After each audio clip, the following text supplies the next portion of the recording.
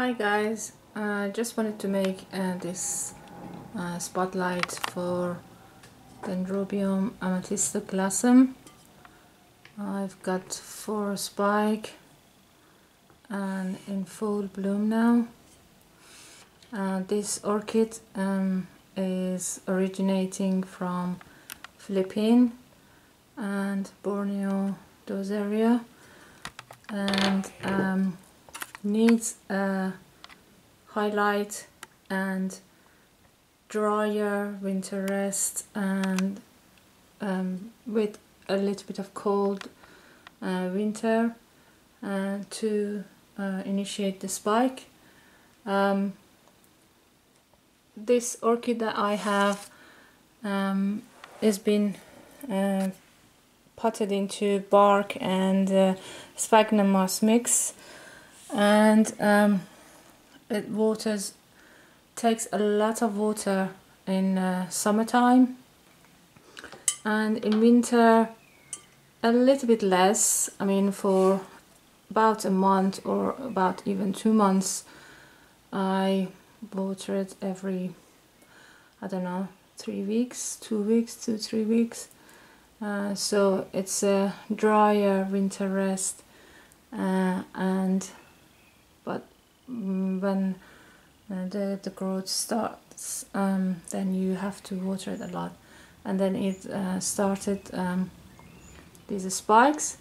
And as you can see it's, it's from uh, old growth. Uh, it's been in bloom for more than two weeks now. And I thought to make uh, this this video before all the flowers are gone. I started to go a little bit you know the yellow bits of it you can see. Um, but still is a nice nice bloom for a few more days. So uh, they're not very long lasting they're about two to three weeks maximum. But they are beautiful when they're out.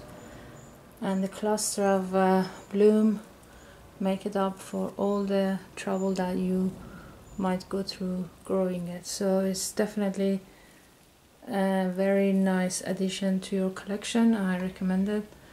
And I really like this dendrobium. Um, so as you can see there is a new growth started to grow. And these are the cane uh, after maturing. And they start to lose the leaves and become leafless like this and the leafless uh, canes start to produce uh, flowering spike. So it's a very um, nice collection to your um, orchid collection if you like to have different type of uh, uh, you know dendrobiums and so uh, yeah that's it. I just wanted to show you this um, and uh, yeah please give it a thumbs up if you like the uh, the video. And please subscribe uh, for more updates uh, like this and my uh, orchid collection. Thank you very much for watching